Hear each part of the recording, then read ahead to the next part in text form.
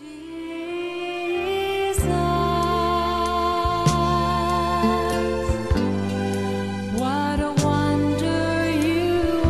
I was about 14 years old, I went up to the office of my high school principal and knocked on his door. He looked up at me and said, Yes, come in. Who sent you up here? What have you done wrong? I said, Sir, I haven't done anything wrong. I just want to talk to you. He said, Oh, come in then. Sit down. He was a bit amused that someone about 14 years old would be bold enough to approach the principal like this. And I said, Sir, first of all, I've become a Christian and my life has changed. And first of all, I just want to apologize for any trouble I ever caused any teachers before I became a Christian. And secondly, I said, I want to ask your permission to use a room at lunchtime so I can start a Christian meeting, so I can tell other kids about Jesus, so they can have a chance to have their life changed as well. Well, he thought about it for a while, and then he said, no, I don't think I can allow it. He said, everyone's got their own religion, and if I allow you to promote your religion at school, one of the parents is bound to get upset, and I'd just rather have no religion at all in the school, that way I won't have any trouble. So I thanked him for his time, shook his hand, and then I left and I went back to all my friends who'd been becoming Christians, and I reported to them that the principal said no. But we all agreed that that night when we each went home, we would pray and ask the Lord to change our principal's mind while he was asleep. So that night before I went to sleep, I said, Lord, please change my principal's mind tonight while he's asleep. And then I turned the light out and went to sleep myself. And then sometime during the middle of the night, I woke up because my bedroom was full of light.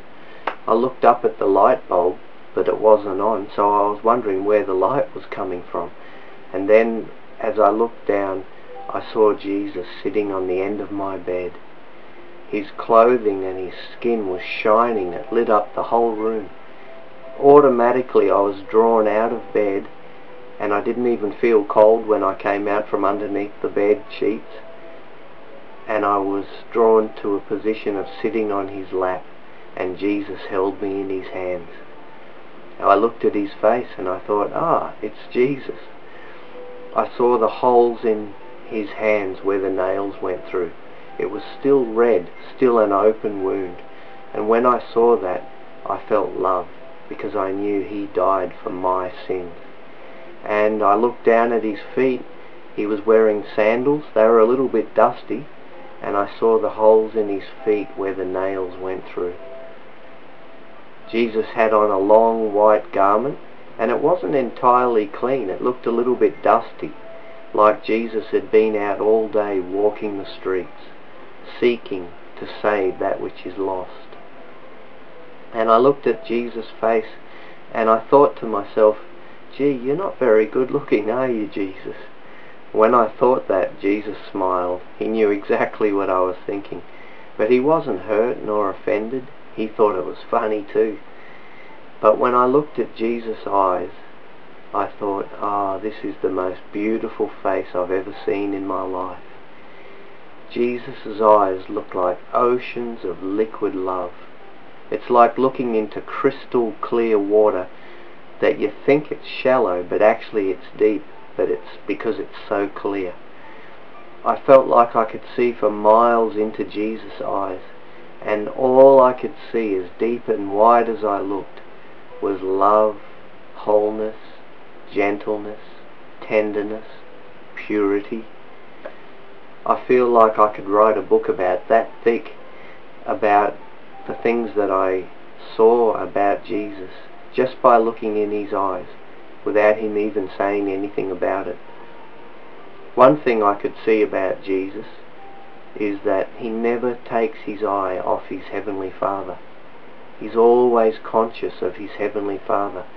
He's always keen to know the Father's will and he delights to do the Father's will. Jesus isn't thinking, oh, Father, do I have to do your will again? No, he delights to know and to do the Father's will. It's like Jesus is thinking, Well, last time I did your will, Father, instead of my own, look how good the results have been. So now I can't wait to do your will again. Just let me know what it is. I feel that Jesus seemed more delighted that he was allowed to be with me than I was to be seeing him in this vision. But as delighted as Jesus was that the Heavenly Father allowed him to be with me, I could see in his eyes that he was careful not to stay one moment longer than what his Heavenly Father willed. Another thing I could see in Jesus' eyes is that his love is so strong that he keeps reaching out in love even when people reject his love. Unlike our human love, when our human love gets rejected, we can tend to withdraw or to protect ourselves a little bit, but not Jesus. He loves so much that even when a person rejects his love, he keeps on loving even more. He keeps extending his love to that person. Well, Jesus said to me, so you're thinking of starting a meeting at Bremer, hey? Bremer High School is the name of the school I went to. So I said to Jesus, yes, and we talked about my plans to start this meeting.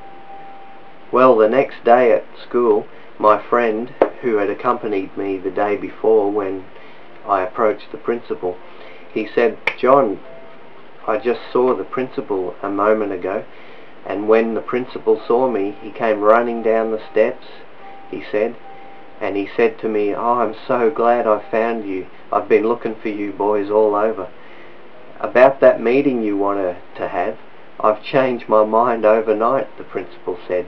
Now I want you to have that meeting. Which room do you want to use? Well, when I heard that, I chose the best room in the school.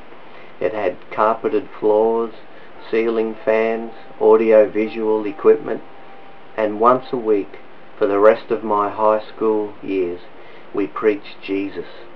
People were saved, people were filled with the Holy Spirit, a couple of people who got saved in those days ended up becoming missionaries, serving the Lord overseas. Jesus.